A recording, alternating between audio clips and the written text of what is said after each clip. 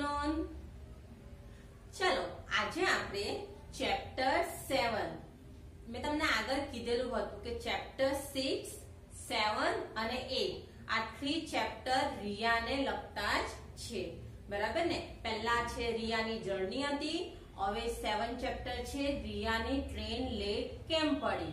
અને પછી છે એક ચેપ્ટર રિયા મામાના ઘેર પહોંચે છે, તેનું છે. બરાબર? આ ચેપ્ટર રિયાને લગતા જ છે. તો આજે આપણે શીખીશું ચેપ્ટર સેવન રિયાની ટ્રેન લેટ કેમ પડી? પણ તે પહેલા આજે એક મસ્ત, એકદમ સરસ રેની સિઝન ચાલે છે. ચાલે છે ને? કેટલો સરસ મજાનો રેન પડે છે. કેવી સરસ, મસ્ત વાતાવરણ છે.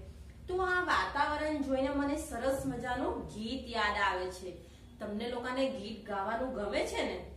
તો ટીચર તમે ગીત ગાશે તો તમારે મારી સાથે ગીત પણ ગાવાનું છે અને સરસ મજાની શું કરવાનું છે?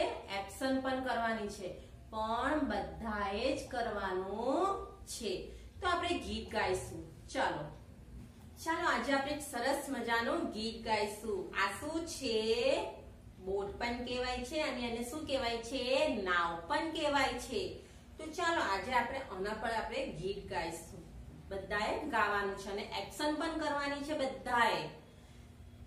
સાગરમાં નાવ મારી સરર જાય.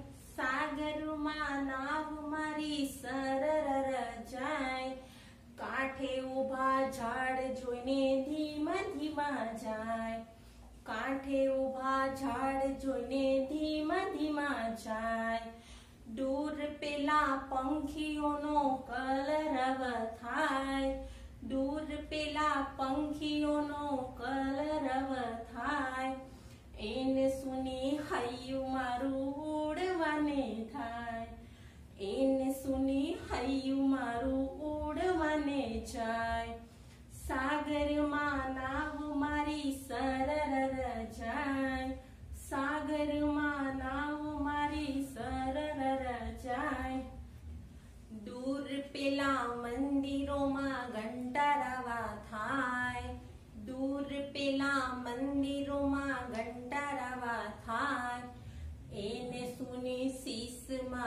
ઝૂકી ઝૂકી જાય. એને જોઈને શીશ મારું ચૂકી ચૂકી જાય. સાગરમાં નાવ મારી સરર જાય. સાગરમાં નાવ મારી સરર જાય. કાંઠે ઊભા ઝાડ જોઈને ધીમા ધીમા જાય. કાંઠે ઊભા ઝાડ જોઈને ધીમા જાય.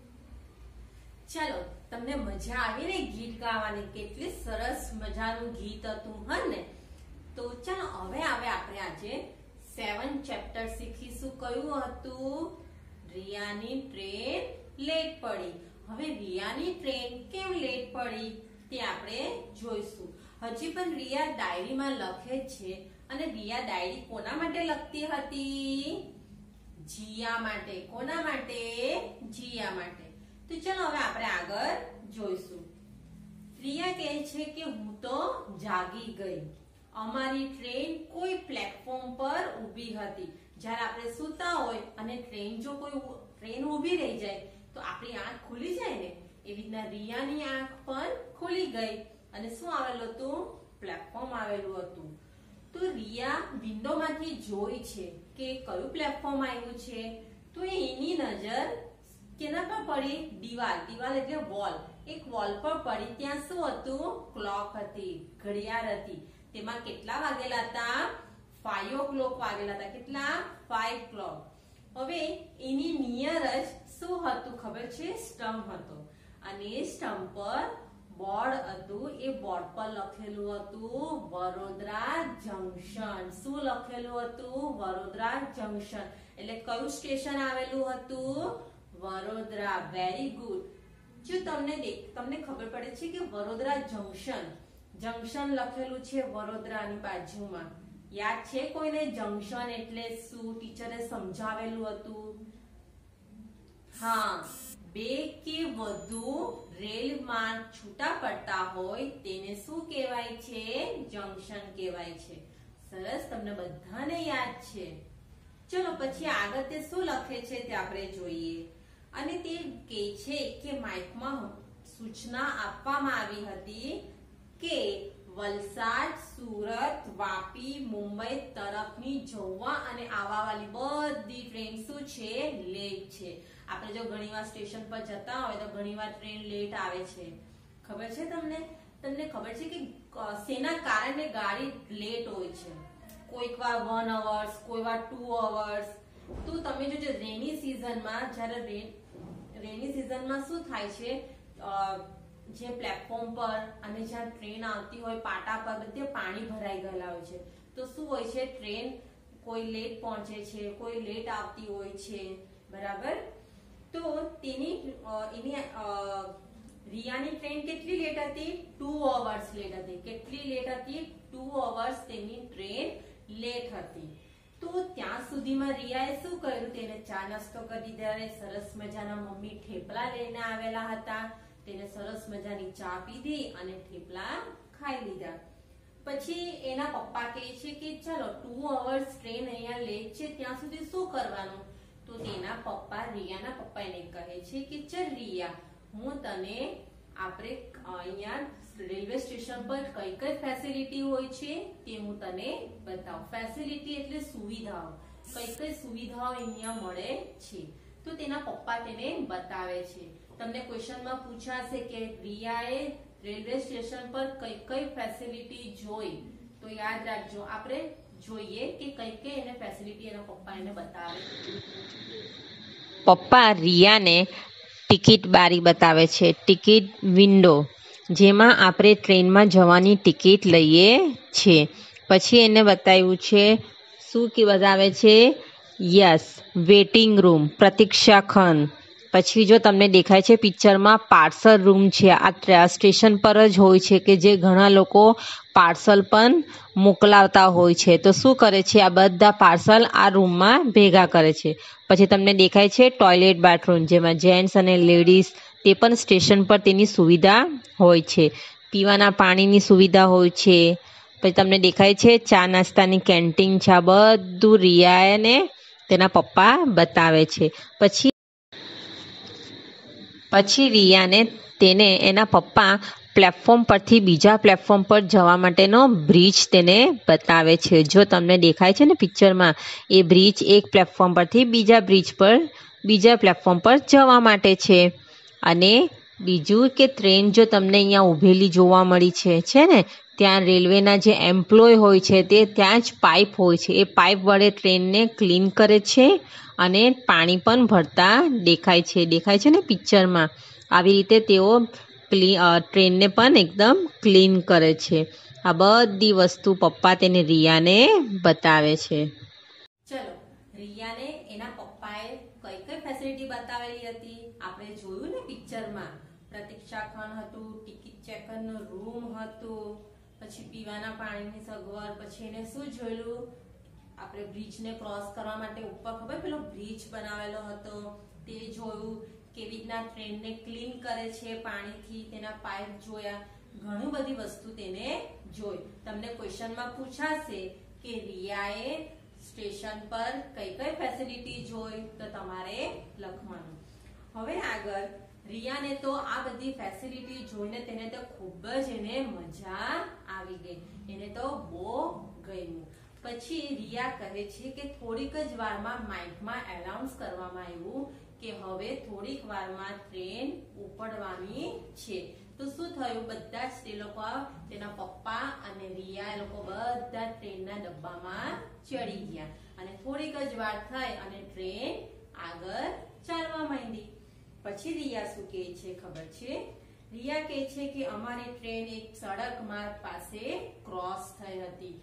તો જ્યારે ક્રોસ થાય છે, ત્યારે ફાટક હોય છે. તમને ખબર છે? ફાટક આવે છે. તમે ફાટકની આગળ તમે જોજો, તમને ગાડીઓ જોવા મળતી હોય છે. પછી ટ્રેન જાય ત્યારે ફાટકને ખોલવામાં આવે છે. તો રિયા એમ કહે છે કે ત્યાં એક ફાટક હતું. ફાટકની બંને બાજુ ટ્રેન ક્રોસ થવાની રાહ જોઈને બધા ઊભા હતા. જોજો જ્યારે પણ ફાટક પડતો હોય તમે જોયું છે કોઈ ગાડી જતું હોય નહીં. જવું ન જોઈએ, નહીં તો શું થાય? એક્સિડન્ટ થઈ જાય. તો બધા જ ગાડી પોતાને લઈને ઊભા હતા. તો રિયાએ કઈ કઈ જોઈ હશે? કઈ કઈ ગાડી રિયાએ ફાટકની બંને બાજુ કયા કયા વ્હીકલ્સ જોયા? તે જો આપણે તમે પિક્ચરમાં જોવો છો. Bus, car, auto bicycle scooter, પછી જો માલ સામાનની ભરેલી ટ્રકો જેવા વાહનો પણ ઊભા હતા. અને કેટલાક વાહનો પોતાના વાહન બંધ કર્યા વગર ઊભા હતા. તમને જો આ બ્લેક કલરનું દેખાય છે, એ લોખંડનો સરિયો હોય છે. અને જો સ્ટોપ લખેલું છે. જ્યારે ટ્રેન આવવાની હોય, ફાટક બંધ થઈ જાય ત્યારે આયરો પડી જાય છે, જેથી કોઈ વ્હીકલ્સ સામેની સાઈડ જઈ શકે નહીં. અને જેના કારણે ત્યાંનું વાતાવરણ અવાજ અને એકદમ ધુમાડાવાળું થઈ જાય છે. કેટલાક લોકો તો ફાટકના સરિયાની નીચેથી ક્રોસ થઈને પણ પાટાની નજીક આવીને ઊભા રહે છે. પણ એવું કરવું જોઈએ નહીં. જેથી શું થાય? જો ટ્રેન ફાસ્ટ આવતી હોય અને આપણને ખબર ન હોય, તો આપણે એના અડફેટમાં આવી જાય અને એક્સિડન્ટ થઈ જાય.